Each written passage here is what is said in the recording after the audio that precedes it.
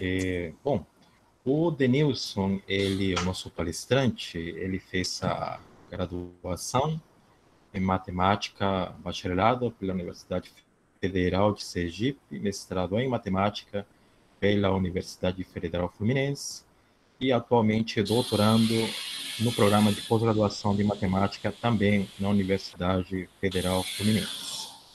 Tem experiência na área de equações diferenciais parciais, com ênfase em controle de EVPs. E eh, o título da palestra é Um Equilíbrio for Generalized Boussinesque Fluid Chemical Models with Multiplicative Controls. Mais uma vez, agradeço nome, em nome do da organização do evento, a presença do Denilson e pode começar, tem 30 minutos. Ok, obrigado, Alder. É, eu gostaria de, de agradecer aos organizadores por, pelo convite, é uma grande oportunidade para mim apresentar um grande evento como esse.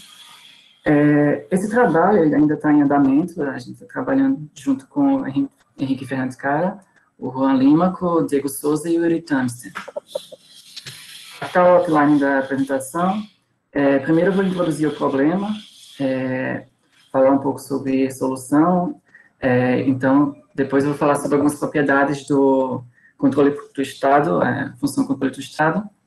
É, aqui no multi-objetivo uh, modelo, com um único jogador, é, a gente vai introduzir o equilíbrio de Pareto, vou dar aqui algumas definições, e fazer contas aqui para a primeira e segunda ordem, condições de primeira e segunda ordem. É, e, finalmente, aqui, é, no item 4, é, no modelo muito objetivo com vários jogadores, é, a gente vai introduzir o conceito de equilíbrio de Nash é, e vamos calcular também algumas é, condições de opcionalidade de primeira e segunda ordem. Aqui está o nosso sistema, sistema de Boussinesq generalizado, aqui controle multiplicativo. É, Nesse modelo, pode ser considerado como campo de velocidade de um fluido, é, contendo um, um, uma substância química aqui com concentração θ.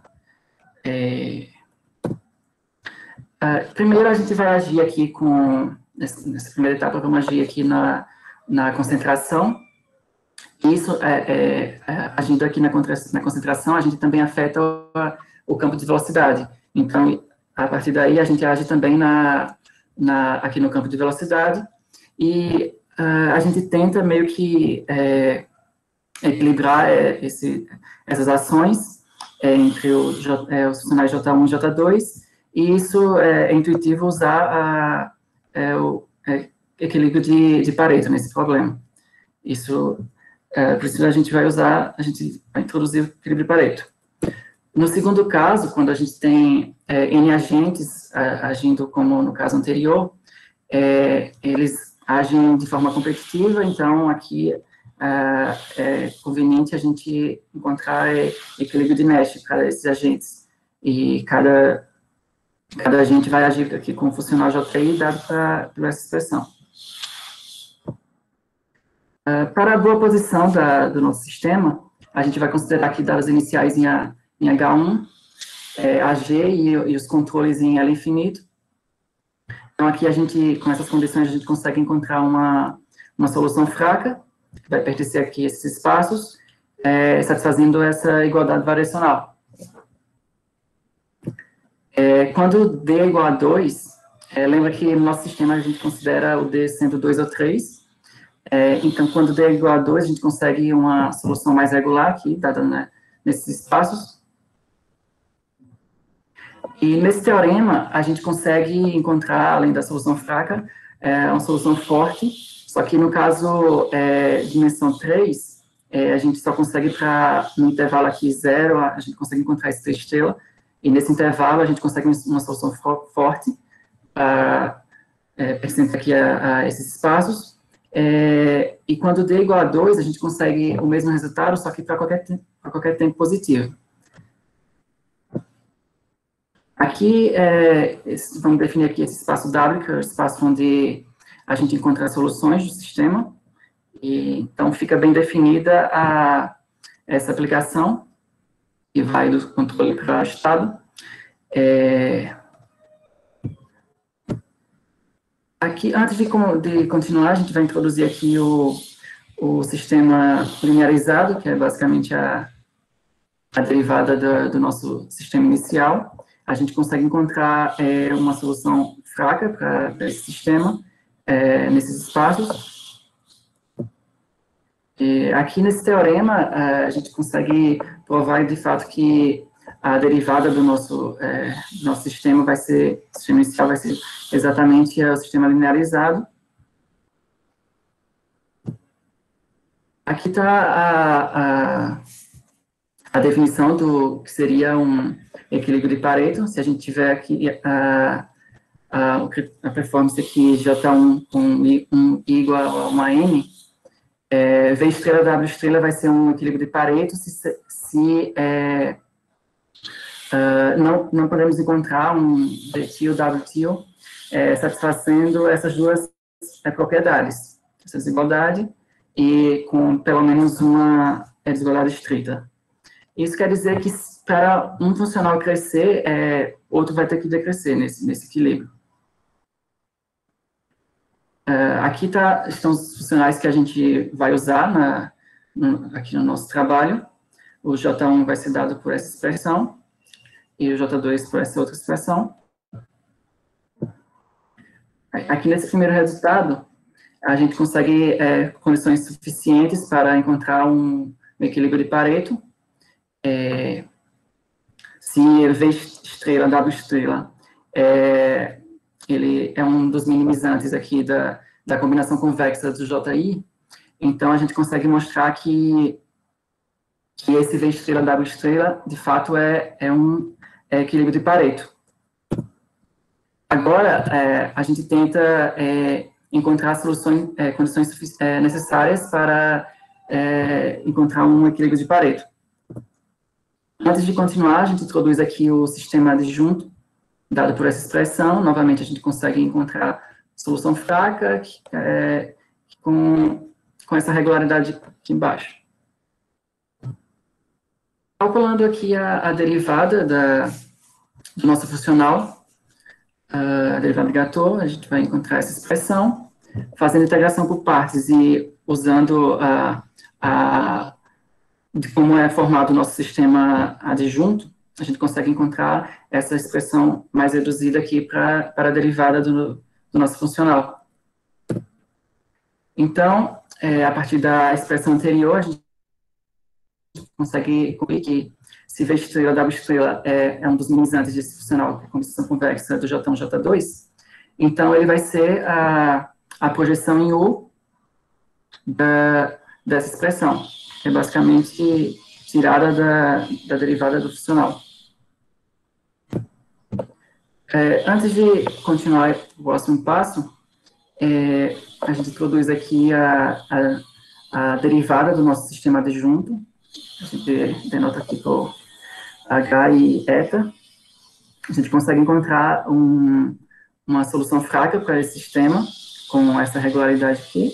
Observe que a gente consegue é, encontrar essa desigualdade em que, em que essa constante é, que depende aqui da, explicitamente de alfa e beta, é, multiplicada pelas normas ali dos, dos controles. E, então, calculando a segunda derivada do nosso funcional, a gente encontra essa expressão, é, depois de integrar por partes, encontramos essa outra, e utilizando a forma do, da nossa linearização da derivada do adjunto, vai ficar com essa expressão final, e a gente tenta é, estimar esses termos I 1, I 2, I 3 e 4. É, a estimativa aqui para 1 e 1, é, a gente usando aqui Holder com é, expoentes 2, coeficientes 2, 3 e 6, é, a gente consegue essa desigualdade, e aqui a gente observa que para a dimensão 3, o, o L, a norma L3, ela perde para a norma em L2 vezes a norma em H1 da cada termo elevado a 1 meio, isso para n é igual a 3. Para quando n for igual a 2, a gente usa Rode aqui com 2, 4, 4, então consegue um resultado similar. É, e aí, a partir daí, a gente consegue essa última desigualdade, em que uh, o I1 vai perder por essa constante, vezes as normas L2 da, dessa diferença. Isso pode ser feito com todos os outros termos, então, usando essas desigualdades junto com a expressão da segunda derivada, a gente consegue essa outra expressão, que, se a gente supor que é, mu, mu mais kappa é maior do que essa constante, então nosso, nosso, nosso funcional vai ser estritamente convexo, então a gente garante a existência de um único minimizante lá para o funcional J, e isso garante a unicidade da, da do equilíbrio de Pareto, que está aqui na, no nosso corolário. Se essa constante for positiva, então V W vai ser um equilíbrio de Pareto, somente se ele vai ser esse único minimizante da, do nosso é, funcional. Agora, é, no, no segunda etapa, a gente considera N jogadores, cada um agindo como anteriormente. Então, é, o nosso sistema vai ficar aqui dessa forma, e a gente tenta é, achar é, o equilíbrio de Nash para as estratégias de cada jogador, dadas por, como foi colocado anteriormente. É, antes de fixar aqui notação, o U aqui a gente considera como sendo produtório, produtório do, dos UJs, é, esse N é, são os, esse conjunto de 1 a N, conjunto de índices, e U a menos 1 vai ser o produtório dos J, tirando o conjunto UI.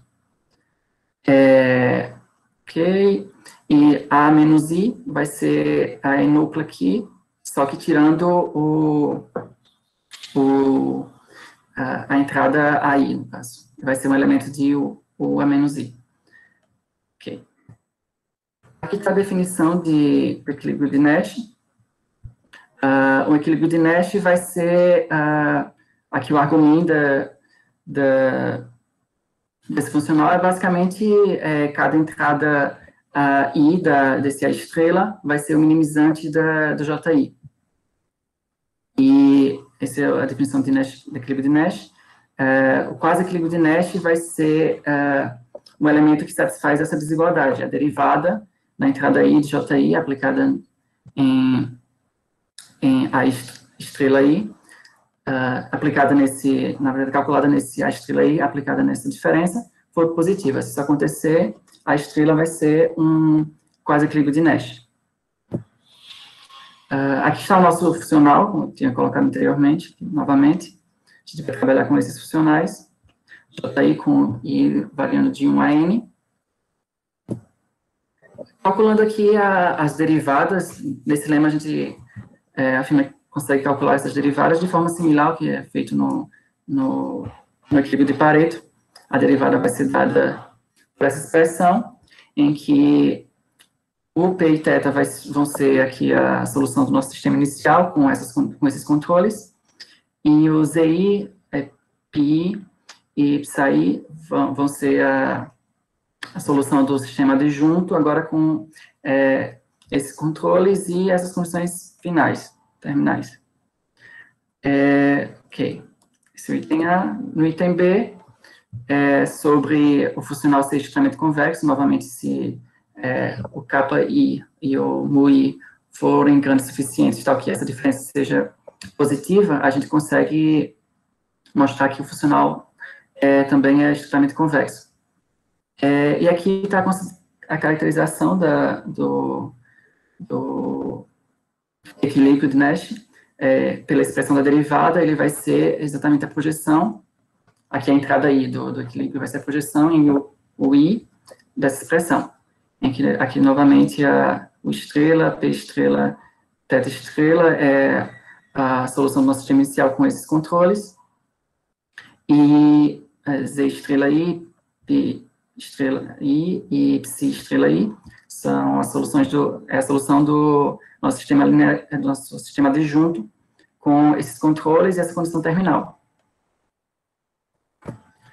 É, então, se a gente considera aqui esse vetor uh, D estrela I, W estrela I, uh, como sendo o equilíbrio de Nash. É, então, aqui, é, esse outro vetor contendo aqui as soluções do nosso sistema inicial e sistema adjunto, eles vão satisfazer é, esse sistema que é chamado o sistema de opcionalidade. É, por fim, aqui, uh, a gente vai uh, assumir essas hipóteses na demonstração do próximo teorema. A gente vai considerar é, que o, o I vão, vai ser um subconjunto aqui da, de tela infinita que satisfaz a, a, que a norma de V e W é, pede para R, aqui pontualmente. Então, a gente consegue colocar o I uma bola em L infinito da, de, de Q. E a gente, adicionalmente, é, assume que se a N converge, se eu tenho uma sequência N convergindo A em, é, quase sempre em Q, então é, a projeção sobre U desse AN vai convergir para uma projeção de, sobre U desse A, é, quase sempre em Q. Aí a gente assume essas duas coisas e vamos mostrar é, esse teorema. Ele afirma que a gente consegue é, encontrar uh, um ponto fixo para essa, essa aplicação. Uh, a gente vai usar é, o, o teorema de, de ponto fixo de Schauder, então, para satisfazer as hipóteses, é, no conjunto a gente já põe como hipótese é, ele sendo convexo e fechado. Então, a gente tenta mostrar que a aplicação ela é contínua e compacta. Aqui na demonstração da, da complexidade, é, a gente considera aqui uma sequência em U. Então, pelas estimativas de energia que a gente já fez, e usando o teorema de Alban-Linus, é, a gente consegue mostrar que o N converge, em que o N é a solução é, relacionada a esses controles. Ela converge forte aqui na, nesse espaço, é, o N teta N, e o ZI, é, N, Psi e converge forte aqui nesse outro espaço. Uh, extraindo uh, possivelmente uma subsequência, é, a gente consegue mostrar que esse produto ainda converge forte, só que aqui em 1 e quase sempre em Q da mesma forma aqui. Então, considerando a nossa aplicação, a entrada aí, é, dessa forma, usando aqui a hipótese A2, a gente sabe que essa, existe essa convergência aqui, já que as entradas convergem é, pontualmente pela observação anterior. Então, é, o, esse lambda de ANI converge a 1B. Pela nossa outra hipótese, essa diferença aqui ela é limitada, perde aqui em L infinito, ela perde para 2R. É, então, usando o teorema da convergência dominada, uh, a nossa aplicação aqui é aplicada na N, converge para um B, e isso conclui que o nosso operador é compacto. É uma vez que ele é contínuo, então a gente usa o, o teorema ponto fixo e conclui o resultado. Então, esse ponto fixo, ele vai ser equilíbrio de, de Nash para o nosso sistema, e isso é, finaliza a, a apresentação. Obrigado.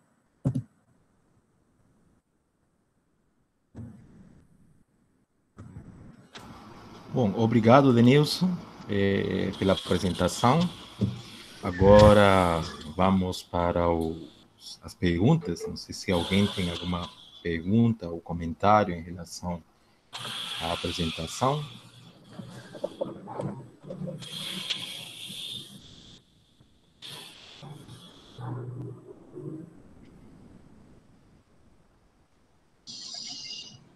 Una preguntita, eh, una preguntilla de Nilsson.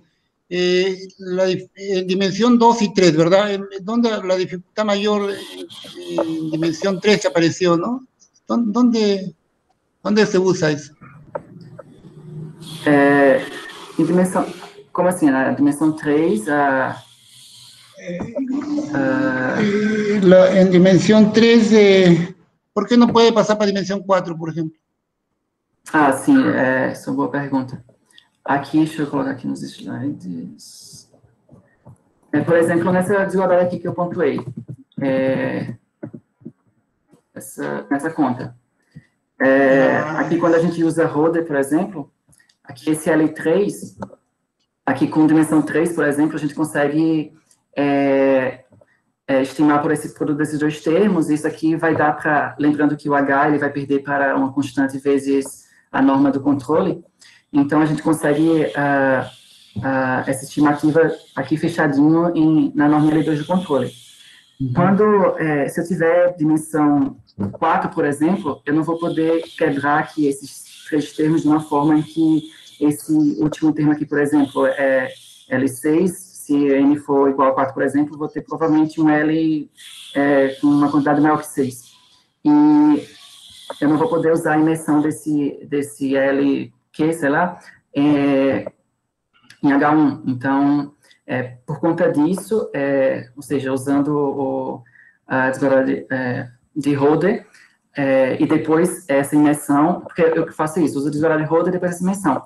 Aí, quando eu usar a desigualdade de Holder para n maior que 3, eu não vou conseguir uma imersão em H1, então eu não vou conseguir nada parecido com essa desigualdade aqui. E para n igual a 2 e n igual a 1, eu consigo dessa forma, quebrando para n igual a 3, quebrando 2, 3 e 6, e para n igual a 2, quebrando 2, 4 e 4.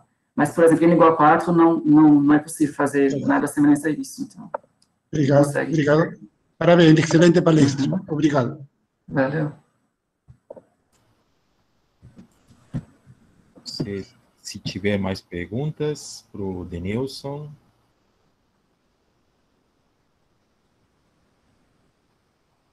Que não tem mais perguntas, então agradecemos mais uma vez o Denilson pela palestra e esperamos eh, ver ele em outras palestras, em outras conferências também. Né? Mais uma vez, obrigado. Valeu.